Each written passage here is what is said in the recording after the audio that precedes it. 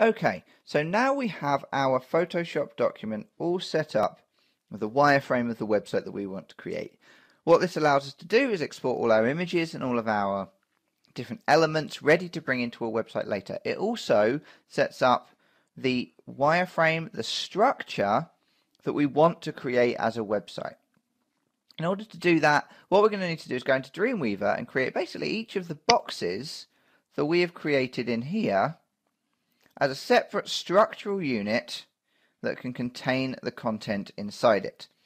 Now this is the reason we want to make sure that everything is nice and neatly laid out and structured in the way that makes sense. And images probably shouldn't cross over too many of these boxes. I would recommend you don't have images that cross over too many boxes.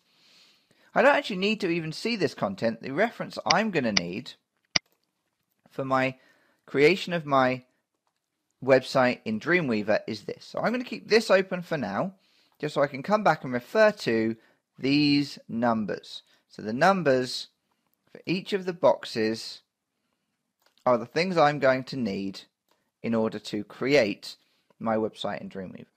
So now if we open up Dreamweaver, what I'm going to need to do is set up a site as we would usually do. So let's maximize that for a second.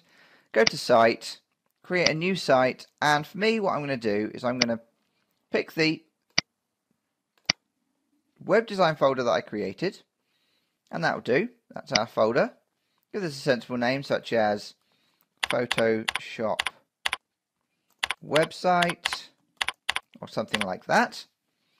Save it Oh, we already have one called Photoshop website. Okay, we'll have to give it a different name. Um, Photoshop example site. There we go. Save that.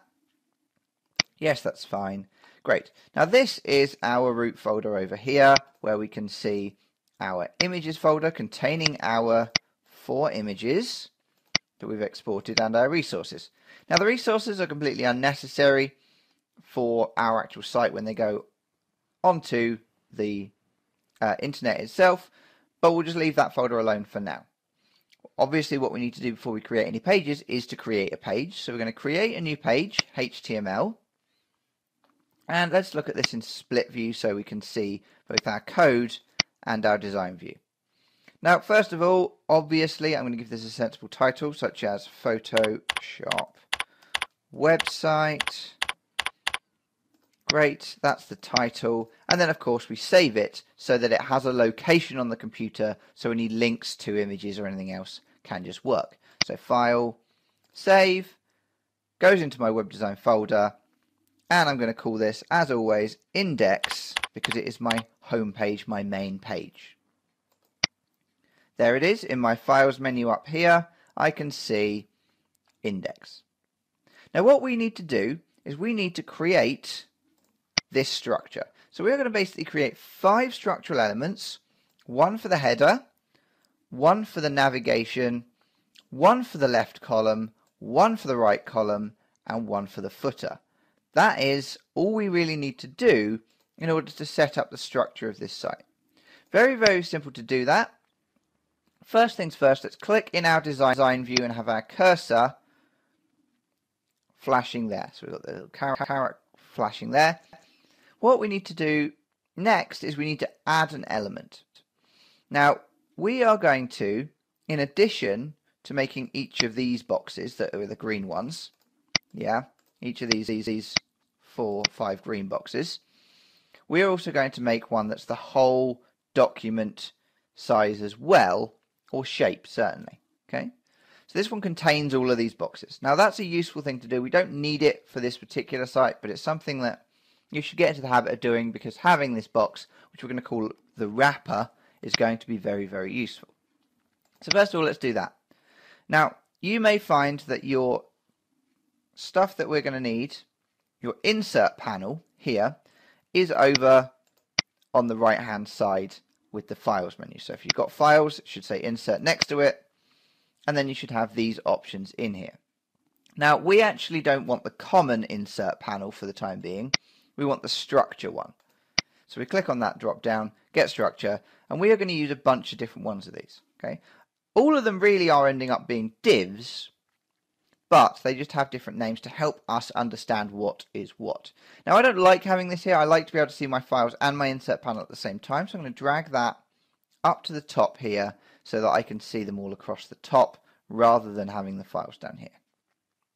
Now the three things we are going to need for this whole tutorial are this structure insert panel, the files panel, and this CSS designer. So check that you've got all three of those panels visible. If you can't see them, you can't find them by looking at the screen, go to window, and then they're all in the window option here. So insert, properties, CSS designer, all active currently for me. What I'm going to do, clicking back in my design view, this is where I'm going to put my first box. My first box for time being is just going to be a div. So I go and click on the insert panel div icon. That pops up this insert panel window. So it's asking us insert a div. Now what do we want to do with this? We've got insert and where it is going to be put. So we want it at insertion point. So where we have selected in the design view is where we want to put our structural unit, right? So that's where that's going to go. We then have the option to give it a class or an ID. Now, classes usually are not great for structural elements. They're much better for design elements. So we're going to use an ID. And I'm going to call this something sensible like wrapper. Okay. All lowercase, I would recommend you always use all lowercase or at least have a standardization in the way that you type things because it will be important going forwards. If I click OK, that then up here adds this box. Yes, the dotted line box which says content for ID wrapper goes here. And all of our content is going to go inside this box. So we do that again. Next thing we need is, based on our design view here, we can even use our guides to look at this, a header, we're going to need navigation, then two columns, then a footer. So the first thing I'm going to do is I'm going to call, well the first one is going to be called header. So back to Dreamweaver, I'm going to insert this thing here, which is called a header. Again, our insertion point is fine because we've clicked in the place we want to put it. Click on ID, and I'm going to give the sensible name like header. All lowercase is fine. Great.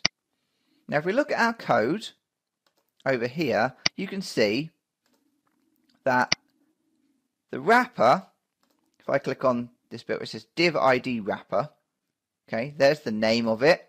That blue bit there is the name. Yours may be in different colors if you have a different version of the software. That's the beginning of that div, and then the end of that div is highlighted as being down here. Inside that, we have a header, and that header starts here and ends here. Perfect. Now we want our next unit, our navigation, to be outside of the header, but inside the wrapper. So inside the wrapper, but outside the header. So if I click up here, you'll see the cursor in the code is actually inside the header. Now I could, if I wanted to, go and use the, let's see, if we've got a navigation one, we have. Um, there it is, navigation. If I use this navigation icon here, click that, it's inserting a navigation. Now, where it says insert at insertion point, I could choose to say, well, before end tag or after a particular tag.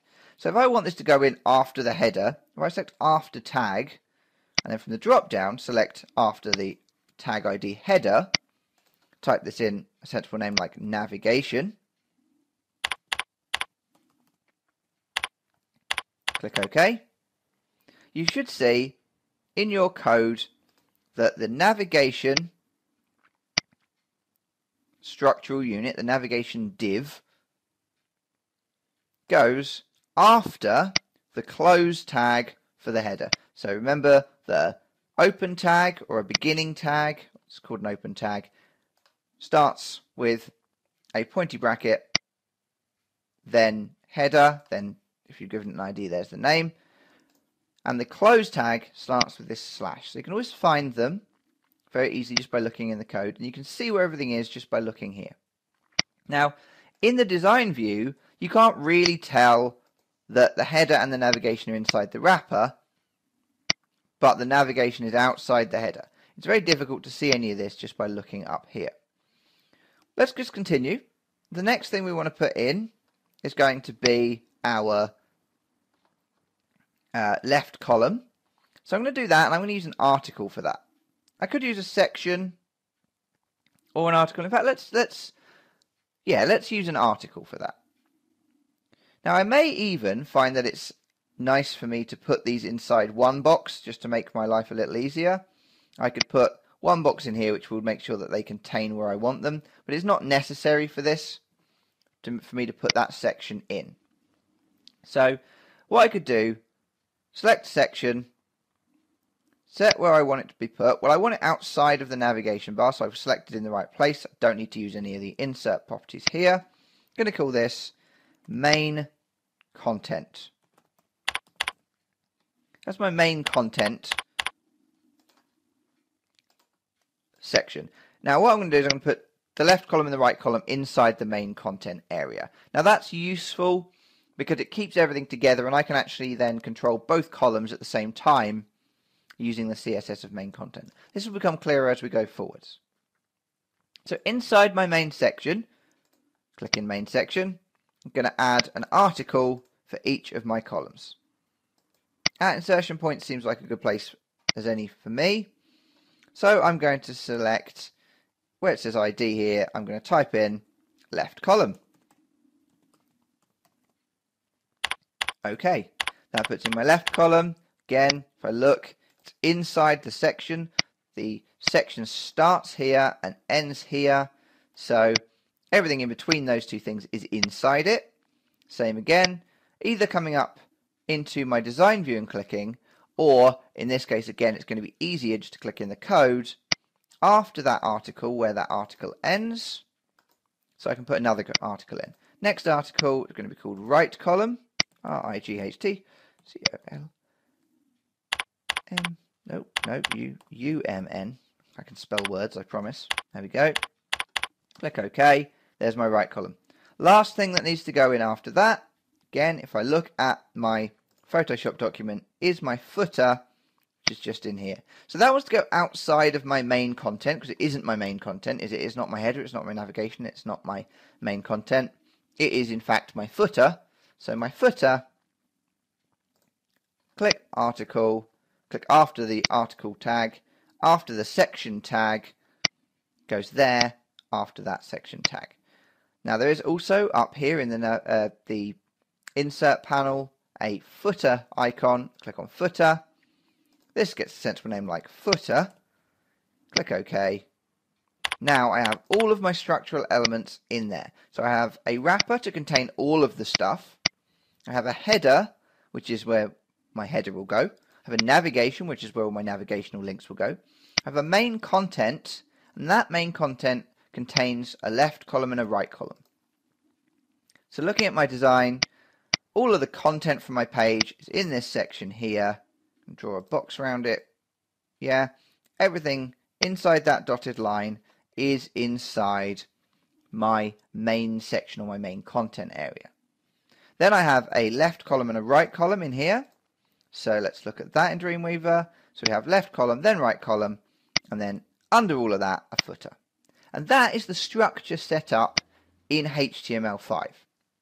So what you should end up seeing in your code is an open div and then a closed div all the way at the end. So we've got body, div ID, and then the div closes right down here.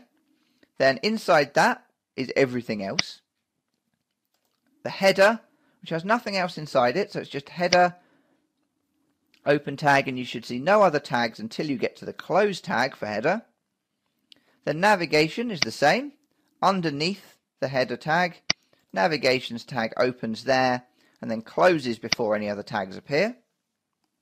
Then we have the section for our main content. Now that main content contains the article for left column and the article for right column. So the section ends underneath those two. So everything in between this tag for section ID open and this tag for section close is inside that main section. So then we have the left column, which closes before any other tags appear. Then we have the right column, which closes before any other tags appear. Then underneath and outside of our section, we have a footer that closes before any other tags appear. That in the code just tells us that everything's in the right place. I can tell that that looks correct. Then, if I look in my design view, well, the design view just shows me each of these boxes with no formatting whatsoever, just as a list of things in order that they appear in the code. The next thing we need to do is to add CSS to that HTML5. So everything we've done so far is just HTML5. The next thing we're going to do is add CSS to add design elements to change the sizes of each of those boxes to each of those structural components in order to make the design look like the one we have in Photoshop. And that is what we'll do next.